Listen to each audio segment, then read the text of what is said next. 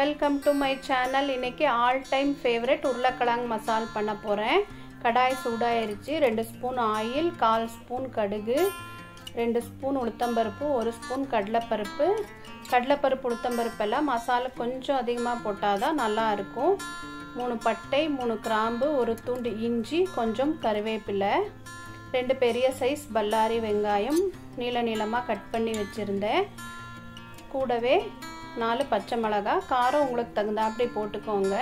வெங்காயம் கண்ணாடி பதத்துக்கு வதங்கிட்டு இருக்கட்டும். அதுக்குள்ளே மூணு உருளைக்கிழங்கு வேக வச்சு வச்சுருந்தேன்.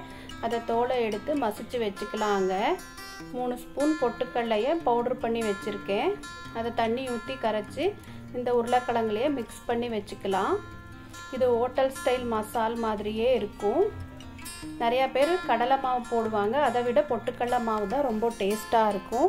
ஒரு சின்ன சைஸ் நாட்டு தக்காளி நல்லா வதக்கி விட்டு கால் ஸ்பூன் மஞ்சள் தூள் தேவையான அளவு உப்பு. இது வேகிறதுக்காக ஒரு அரை டம்ளர் தண்ணி ஊற்றி வேக வைக்கலாம். பாருங்கள் நல்லா வெந்துருச்சு. இப்போ வந்து நம்ம கரைச்சி வச்சுருந்த உருளைக்கிழங்கு பொட்டுக்கடலை மாவையும் ஊற்றி நல்லா கலக்கி விட்டுடலாம் ஒரு அஞ்சு நிமிஷம் கொதிச்சா போதும். ரொம்ப நேரம் அடுப்பில் இருக்க வேண்டியதில்லை. இந்த அளவுக்கு இருக்கணும். பாருங்கள் கொத்தமல்லி தூவி இறக்குனோம்னா அருமையான உருளைக்கிழங்கு மசால் ரெடி ஆயிடுச்சு நம்ம எப்போவுமே பூரிக்கு தான் மசால் செய்வோம். இன்றைக்கி கல் தோசையும் மசால்.